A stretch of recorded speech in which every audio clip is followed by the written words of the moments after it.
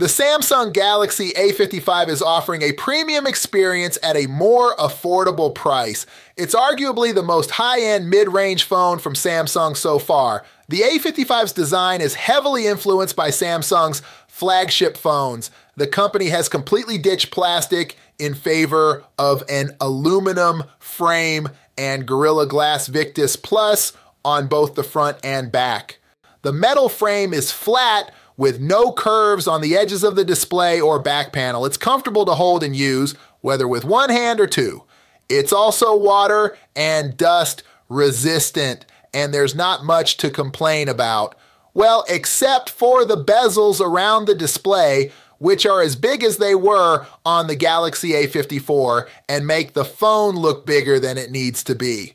The A55 decided to go big with a 6.6 inch display. It's got a super AMOLED panel that's bright, crisp, and great for all your video needs. The screen provides a great viewing experience with colors that look mostly natural and wide viewing angles.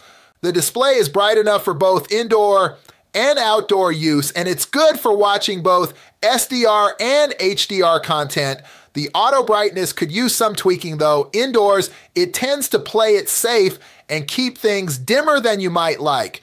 The Galaxy A55 has a triple camera setup with a 50 megapixel main rear camera, a 12 megapixel ultra wide camera, a 5 megapixel macro camera, and a 32 megapixel front camera.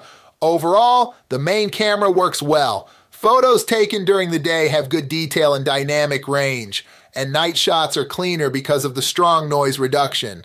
The A55 doesn't always turn on night mode automatically when it should, so it's best to switch to night mode manually in those cases. The ultra wide camera is great in daylight, but not that good in low light or at night. The macro camera is limited by its low resolution and lack of stabilization, making it hard to take steady photos without something to rest your elbows on. It's a shame that Samsung still isn't including zoom cameras in its mid range phones. You can record 4K videos at 30 FPS. The video quality is decent in daylight. The selfie camera hasn't changed in four years, but it still gets the job done, especially in good lighting. When it comes to performance, the Galaxy A55 stands out from its predecessors. It's equipped with the Exynos 1480 chipset boasting impressive specifications, including a GPU with AMD's RDNA graphics architecture. It appears Samsung has ramped up its efforts in software optimization, which pays off with the A55 delivering a user experience that's both fluid and responsive. This phone comes with the latest Android 14 operating system and Samsung's One UI 6.11. This software duo ensures a smooth interface that's easy to navigate. The battery life on the Galaxy A55 is quite impressive. It comes with a 5000 milliampere battery. The charging speed isn't the fastest. Overall, the Galaxy A55 is a strong contender in the mid range market, offering a good balance of design, display quality, camera performance, and battery life. It's a smart choice for those who want a phone that feels premium and performs well without the flagship price tag. The Pixel 8 comes with rounded edges and a comfortable shape. It's smaller than the Pixel 7, which is nice, but it's a bit thicker because of the camera bump on the back. It has a great display called the Actua.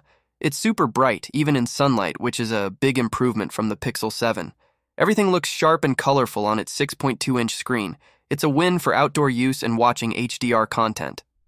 This device boasts a 50 megapixels main wide camera with advanced image processing. In addition, there's a 12 megapixels ultra wide camera with a wider field of view, allowing you to capture more in your shots. The 10.5 megapixels front camera is perfect for selfies and group photos. What sets the cameras apart are the AI driven features.